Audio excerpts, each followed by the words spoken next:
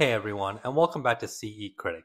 Today we're diving deep into the world of HDR, specifically with some exciting news from Netflix.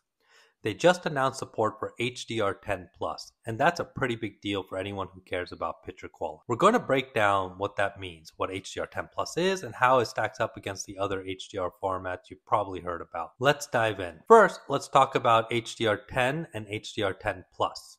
Now, HDR10 is a baseline for most widely adopted HDR format. Think of it as a foundation. It's great. It gives you a wider range of color and contrast, that standard dynamic range or SDR, but it uses something called static metadata. That means the picture settings are set once for the entire movie or show. So if you have a scene that's super bright followed by a really dark scene, the TV is trying to apply the same setting to both. This can lead to blown out highlights in the bright scenes and crushed blacks in the dark ones. That's where HDR10 Plus comes in. It uses dynamic metadata. This means the picture settings are adjusted scene by scene or even frame by frame. So your TV is getting precise instructions on how to display each moment. This leads to a much more accurate and consistent picture with better details in both bright and dark areas. Now, you probably also heard about Dolby Vision.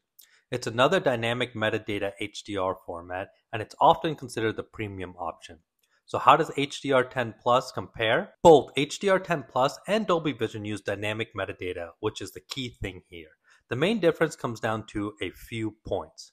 First, Dolby Vision is a proprietary format. That means Dolby charges licensing fees for its use. HDR10 Plus is an open standard, meaning it's royalty free. Second, Dolby Vision often boasts superior technical specs. It supports up to 12 bit color depth, while HDR10 is usually 10 bit. In theory, this means Dolby Vision can display a wider range of colors. However, in real world viewing, the difference isn't always noticeable to everyone. It really depends on the TV, the content, and your own eyes. Currently, there are no TVs on the market that can support 12 bit color depth, so you're not seeing the full potential of Dolby Vision anyways. Now, both offer significant improvement over standard HDR10, which is really, really great to see from Netflix here. So, with the introduction of HDR10 Plus, I think Netflix is looking at it from two main points. One is to lower the cost of production for new content. Second, HDR10 Plus, in conjunction with their AV1 codecs, is a strategic move that's going to address both picture quality and bandwidth efficiencies. So, Netflix adding HDR10 Plus is a big win for consumers, especially those with Samsung TVs, which have long supported the format. It also raises some interesting questions about the future of HDR. Will this push other TV manufacturers to adopt HDR10 Plus? Will Netflix start producing more HDR10 Plus content directly? Only time will tell.